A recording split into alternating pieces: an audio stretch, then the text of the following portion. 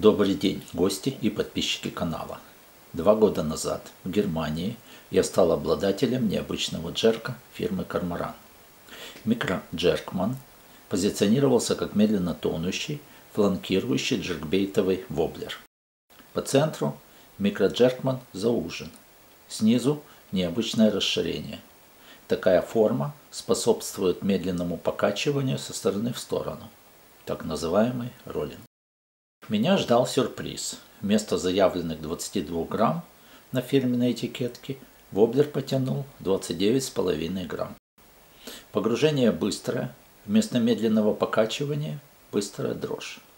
При коротких рывках воблер двигался справа налево и слева направо почти на месте. Сначала я его засунул подальше, но осенью 2023 года решил поджиговать быстро тонущим джерком на озере Трофей.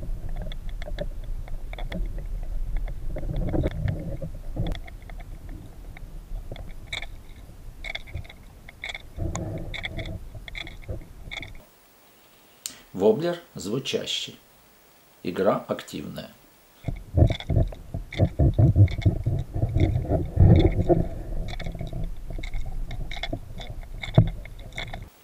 Глубина водоема в основном полтора метра, дно чистое, за исключением мелководных участков.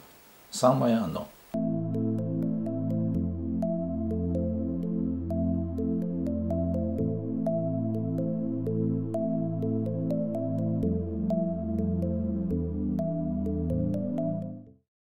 Первая.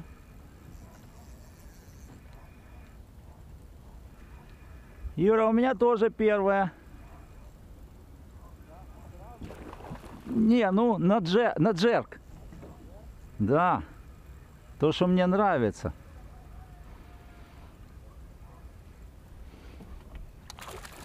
Вау!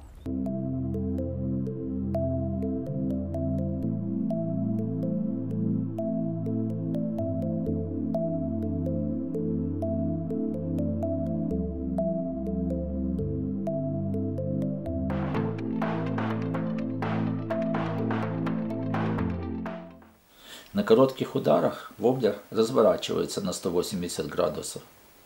Иногда небольшая пауза до касания дна. Для активной щуки проводка, состоящая из коротких ударов без касания дна.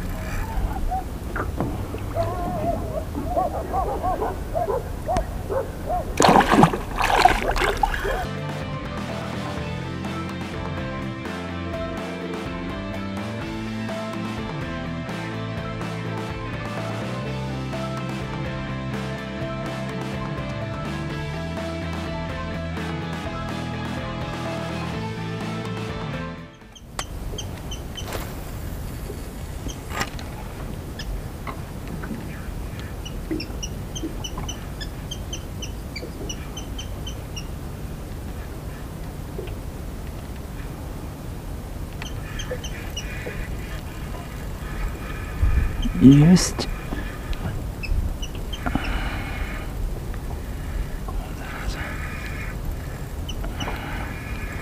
Вот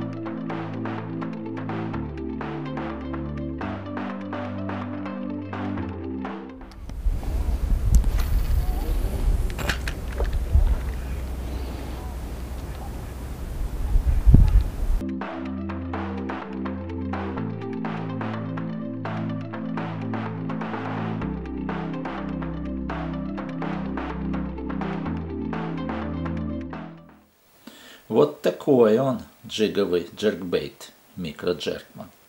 Весь покусанный и жаждущий встреч со щуками. Всем ни хвоста, ни чешуи. Подписывайтесь на мой канал.